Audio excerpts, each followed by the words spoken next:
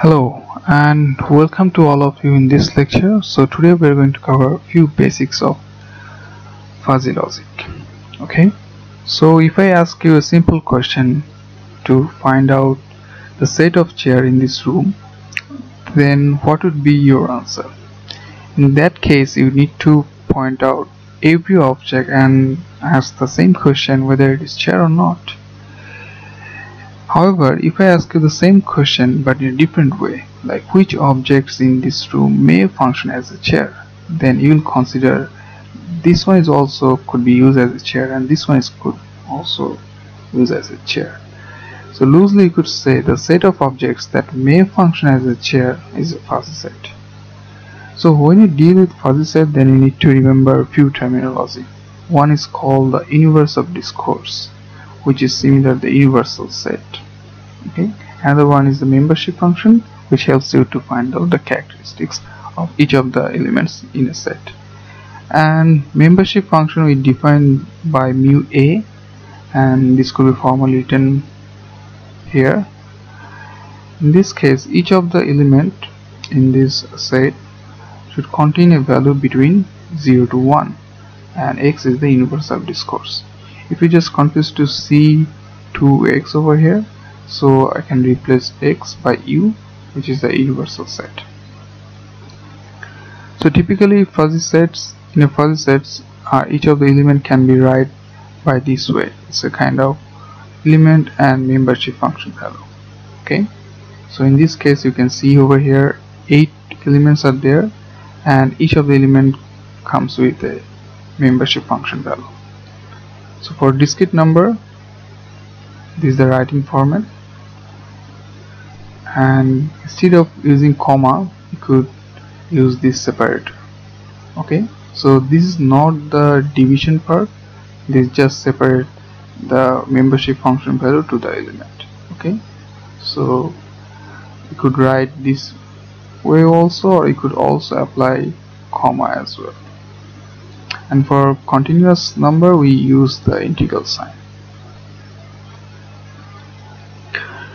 So few basic terms that we typically use in fuzzy. One is called min and is called the max.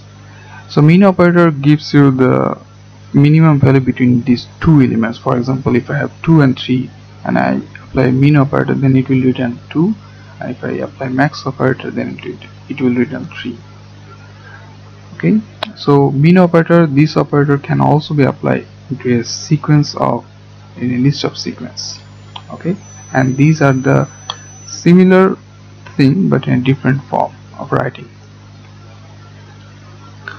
Few more times one is called the empty fuzzy sets when the each of the element in a fuzzy set contains the value 0 and when you call normal fuzzy sets when at least one element contains the value equal exactly 1 in that case this portion touch the 1 bar and we could also apply some algebraic product in any kind of fuzzy sets. For example over here you can see you can call this one as the universe of discourse of two fuzzy sets a and b. And this is the membership function of b and this one is the membership function of a. And if I apply union operator over here that means it only consider the maximum of the grades of the membership function and if I apply intersection operator over here then it will consider only the minimum of the grades of the membership function which means this portion only. So one of the important principle of fuzzy sets is called alpha cuts and for example a is a fuzzy set and we need to find out what will be the value when the alpha cut is 0.5 which means consider only those elements that membership function value is equal or greater than 0.5 so that's why we only consider this part okay? So this is the formal version of alpha cut here is another example of alpha cuts here. If I say alpha cut is 0.7 then you will consider 2 3 and 4 and if I ask you say for example alpha cut is 0.4 then what would be the value over here then 1 to 5 okay? Because this portion is only considered uh, within the alpha cut so you can apply alpha cut multiple times here. You can see for example if I alpha cut point 2 here then we consider only this portion. We just ignore the rest of the part so another important principle is the extension principle. We use this principle to uh, find out the uh, when you add two fuzzy numbers called 3 and 4 if I need to add these two then we'll use this extension principle. Okay? So formally the extension principle can be write in this format. Here you can see instead of using one universe of discourse we use multiple universe of discourse and for single variable function use the multiple variable function as we have multiple universe of discourse. For example here here we have a fuzzy set a1 to figure out the membership function value we use the u.